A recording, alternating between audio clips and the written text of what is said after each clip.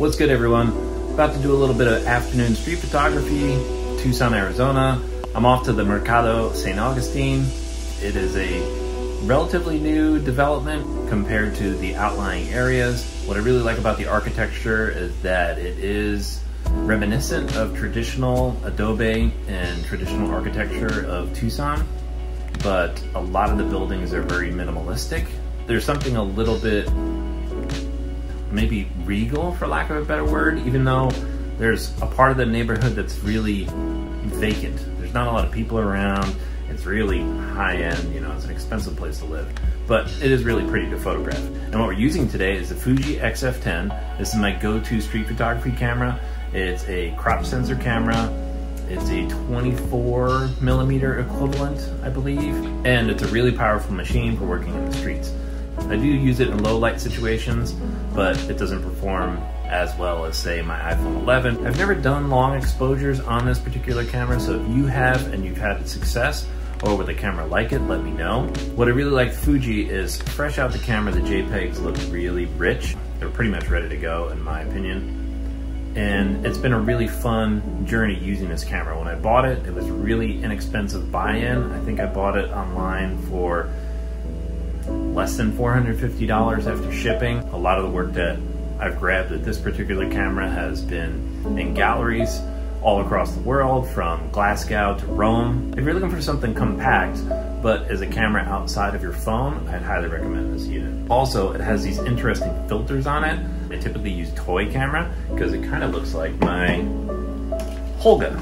So if you've ever played with a Holga film camera, which is 120 film, the results I feel are pretty similar to this. My guess is that's the, the look they were going for. So, we're gonna hit the streets, get some images, have some fun. Typically there's not a lot of foot traffic. It's almost five o'clock and it's pretty much uh, 100 degrees Fahrenheit. But we'll do the best with some shapes and colors and you're gonna see first person of me walking around a quaint little neighborhood in Tucson. And there's a lot of cool outlying areas too, so we may just kind of venture a little bit, but we'll take it as we go.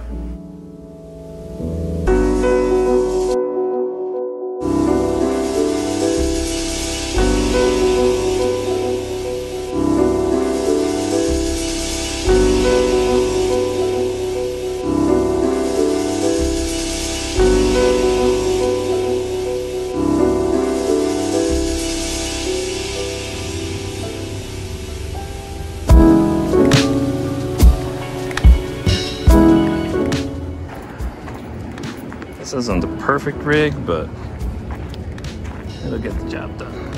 Try to stabilize a little bit for you. So here we are, Fuji X-F10, Mercado San Agustin, Tucson, Arizona. I don't know, it's about five.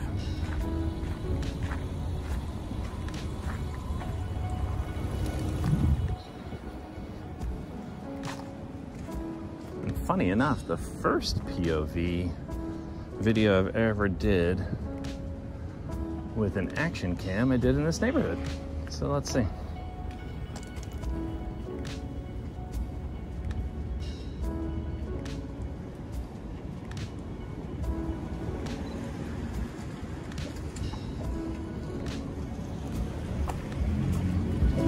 Definitely grabbed a bunch of shots of this particular doorway in the past with my iPhone at night. I'll pop that photo on the screen.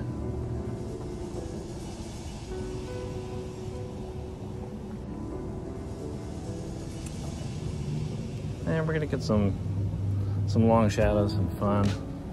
Right out the camera, Fujifilm. We're gonna get some really, really pretty JPEGs, but I'll play with them a little bit in post and, and see what works best. I'm switching back to the toy camera.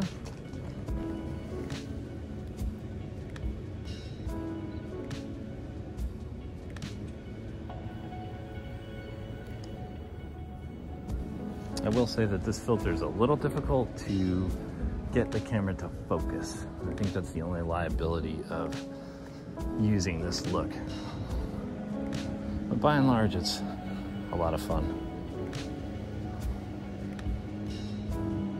And if you're you're not having fun when you're on either side of the lens, you're doing something wrong. And I can definitely say that I get stressed out.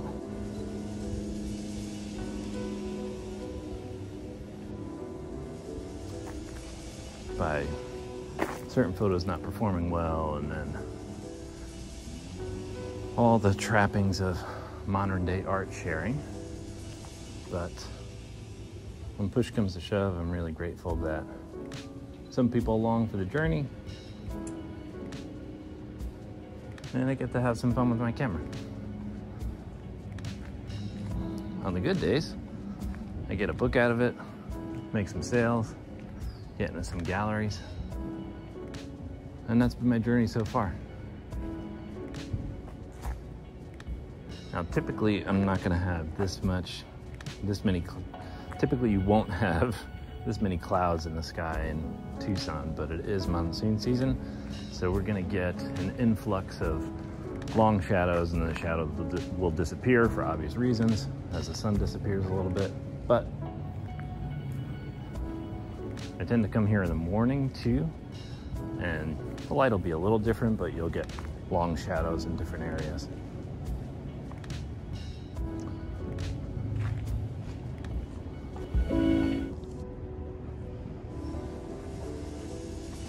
As I suspected, I'm not getting a lot of foot traffic. It's kind of a quiet neighborhood. Unless we go to the opposite end of the neighborhood and kind of go into the bars and stuff.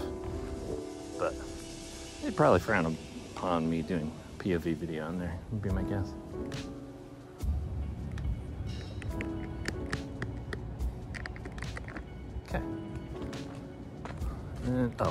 I've taken tons of photos of this car, but it's worth revisiting because she is a beauty. I'm not a car person, but I definitely take a bunch of photos of cars because I love the design. All right, so this is a Plymouth Barracuda, okay. I wouldn't have known that unless I walked up on it and just took this shot, but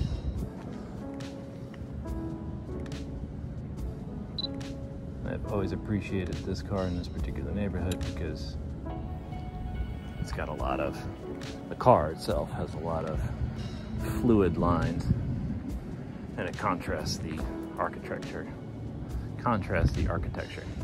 But look at these little, these little hints. Look at that little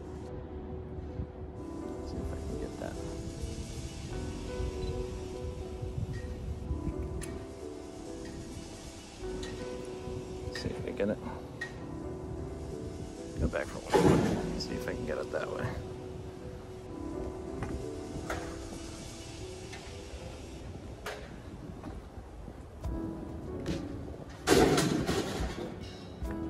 There's also a bunch of murals in this little development. How you doing? Not too shabby.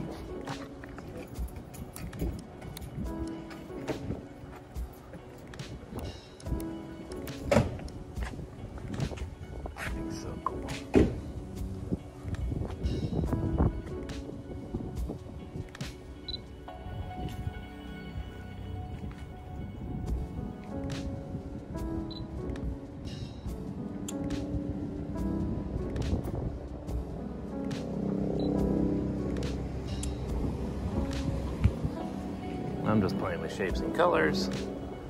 That's one of the murals that I've noticed. There's a, a building size mural on the other end of this neighborhood that we'll, we'll go see as well. I've done a video about night photography in this particular neighborhood and I really think brings a lot of value, whether you're a beginner or not. It's a really fun technique that I just stumbled upon midst of COVID 19.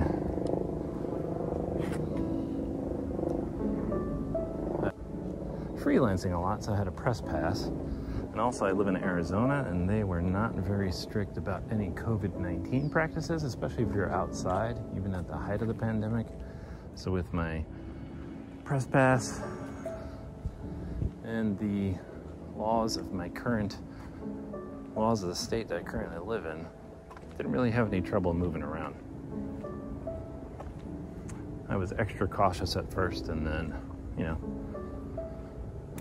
after a while, things got to settle down and I just got back to the business of living.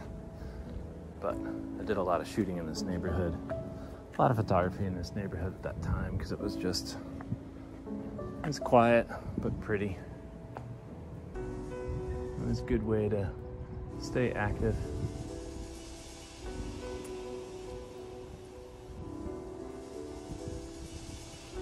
Got something relevant, I'd pitch it out to my longtime friend and editor.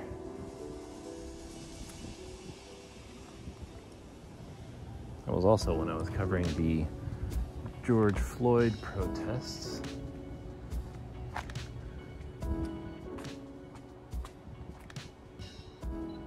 And I got some decent images there. Wrote a little bit about it, but nothing too crazy. Nothing award winning. I was more focusing on creating a more artistic life for myself. I spent many, many years as a journalist here in Tucson and Southern Arizona. Did a little bit of work back east, New Jersey and New York area.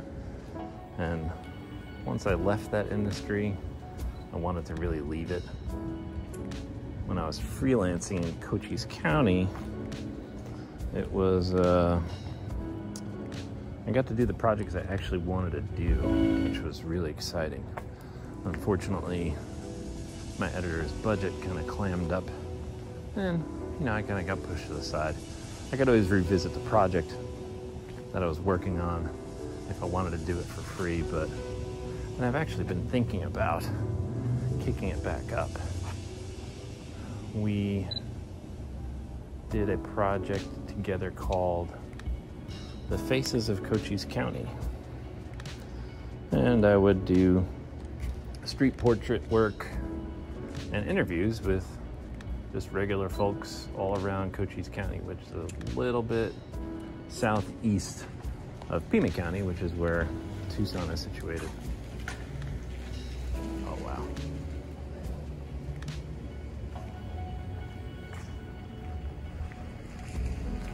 So, yeah, this is the reason why I come into a neighborhood like this. In the mornings and at night, I'm typically shooting with iPhone, but especially at night because iPhone 11, you have the long exposure, you got three second exposure, which I can usually do handheld, and you can get some really, really fabulous work with mobile phone that is an integral part of almost everyone's life.